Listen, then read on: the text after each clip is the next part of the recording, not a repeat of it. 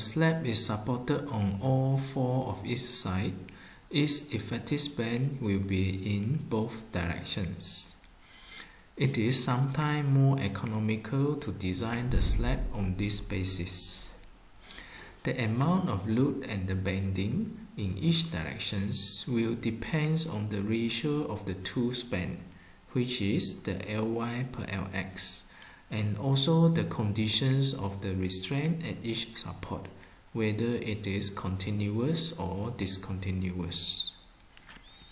For a square slab where the restraints are similar at all four sides, the load will span equally in both directions.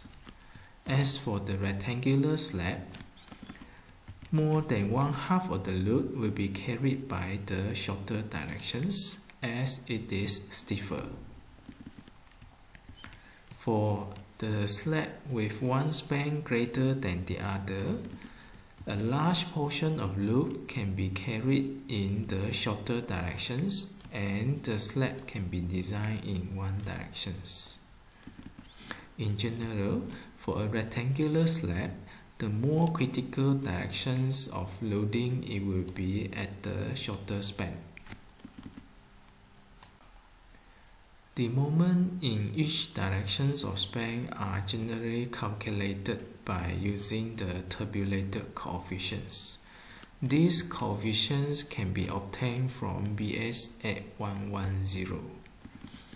The amount of reinforcement to resist the moment are determined independently for each direction of span. The amount of reinforcement bar do not affect each other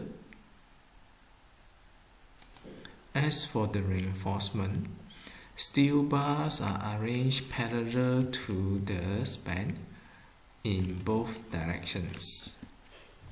To maximize the performance of the reinforced concrete slab, steels uh, for the shorter span are normally placed furthest away from the neutral axis in order to obtain the greater effective depth.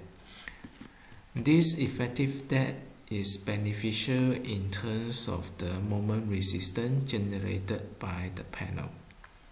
Since that the shorter span of the member is more critical, the reinforcement bar to be with higher degree of depth is provided at the shorter span. This slide shows the design of the reinforcement area for two-way slab which is simply supported on all four sides. First, you need to obtain a factor of coefficients from table 3.13 BS8110 which is this table Alpha SX is meant for the shorter span and alpha SY is meant for the longer span.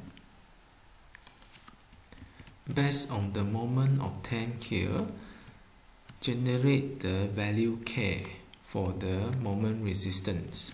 This K is later substituted into the equations for the lever arm and the lever arm is to be checked and to be less than 0.95 D.